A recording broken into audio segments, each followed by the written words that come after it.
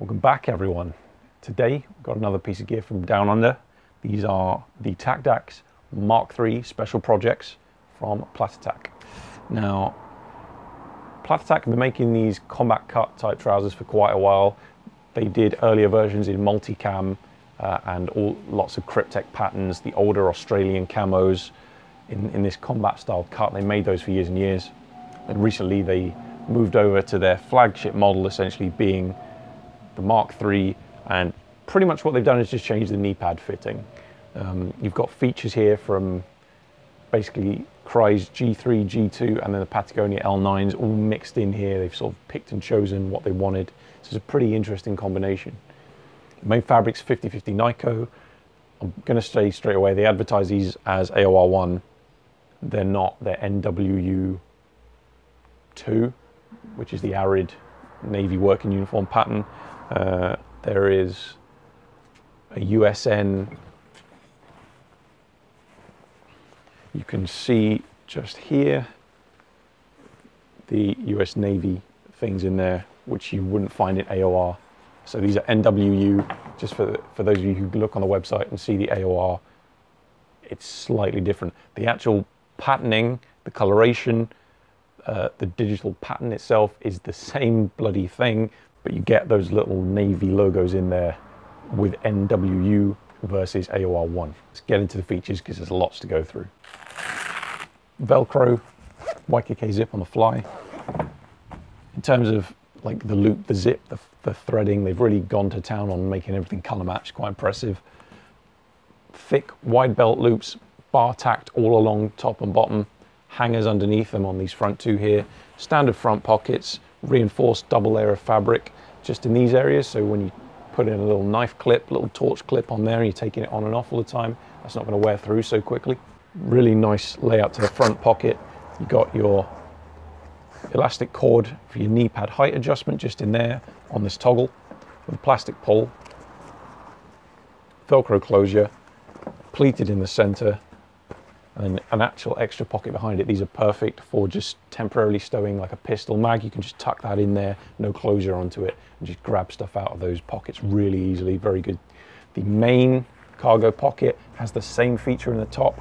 You can stuff a rifle mag just down in there for a quick reload or whatever.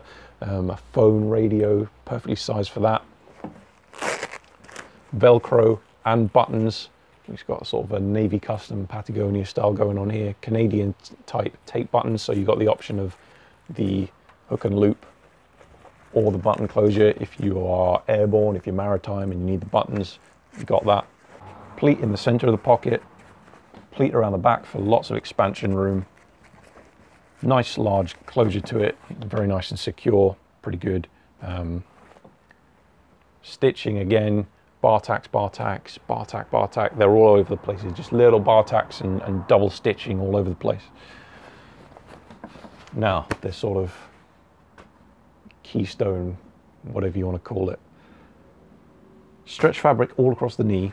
And what you'll see is there's no NyCo because what these trousers are designed to fit is the D3O Trust HP internal knee pad. Bit different. There's a couple of companies out there making trousers to fit these now.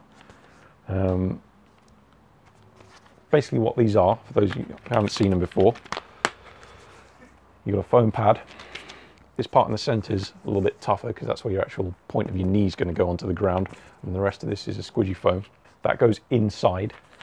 Then a plastic cap that's external. You've got four plastic pieces, keyways as it were, locking pieces mounted into the foam part of the knee pad. Then this external plastic cap. Once this part is on the inside, you put the plastic cap on the outside, tighten each one down, and you're good to go in terms of that. Now, on paper it looks really good. In my experience wearing these, you know, just kneeling down in them on hard surfaces with some gear on, I'm not a fan. I'm going to be honest, guys. If I wanted to just get free gear out of companies, I'd tell you they're amazing, but I, I'm here to just tell you the truth of what I find. For me, I don't know if I'm the only one that's found this, but when I wore these, just kneeling down on concrete floors and stuff, I had a lot of pain in my knees standing up from a concrete surface after kneeling on these pads. Like, I felt it was worse than if I didn't have these pads. I'm going to tell you the truth. Part of the problem is that they're short. If you look at a Crye pad, it's taller, and a lot of the time your knee ends up just um, resting on this piece rather than that. But you've got the height there in the pad, so it's always going to cover your entire kneecap. With the D3Os, they're shorter. Sometimes your knee sort of ends up down here or missing off the pad as you take a knee. And also, these four plastic pieces go all the way through, and they're solid plastic. So if the knee cap slightly moves around in the trouser, you can end up kneeling on these plastic parts and they dig right in something like it's horrible, it's painful. Luckily, the Platatac trousers do have something to deal with this. You've got four Velcro adjustment points on each knee pad, so you can cinch that down and definitely negate that issue to an extent, but I don't like these knee pads. Personally, my recommendation is going to be you just put a foam field type knee pad or something, just a foam pad or neoprene sleeve, neoprene piece on the inside and just leave it at that, truth be told. That's my preference. Um, I know other people have tried these pads and they like them. I'm not a fan of the system.